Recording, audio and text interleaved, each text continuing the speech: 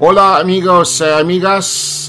Hi everyone, it's Vic back again with another fragrance review. Today I'm going to review Brummel uh, by the House of Antonio Puig, Spain, released in 1975. Brummel is a woody aromatic scent. The perfumers were Jean-François Latti, Max Gavarry, and Rosendo Mateu. Uh, this scent has uh, woody notes, uh, has uh, spicy notes, and has uh, citrusy notes and floral notes uh, with a hint of leather notes. It's a perfect scent for summer and for springtime. It's a classic cologne. It's a, actually classic Spanish cologne. Uh, the price is very affordable, and I can tell you that the three master perfumer team up to make this scent. Max Gavarry, Rosendo Mateu, and also Jean-François Latti. So, uh, for those who know who was Brummel, um, well, I'm happy for you, but I'll give you a little information about Brummel. Brummel was George Beau Brummel.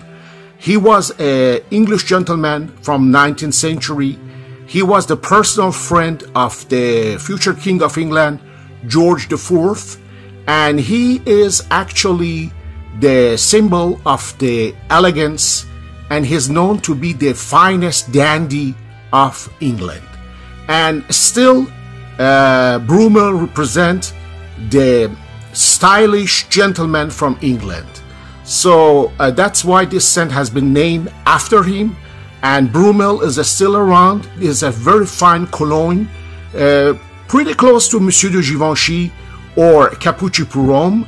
Uh, the price is uh, price value is great and the House of Antonio Puig was founded in 1914 and is still around. is a great family-owned company, and they also make uh, perfumes for other brands such as Nina Ricci, uh, Paco Rabanne, Jean-Paul Gaultier, and Carolina Herrera, and more.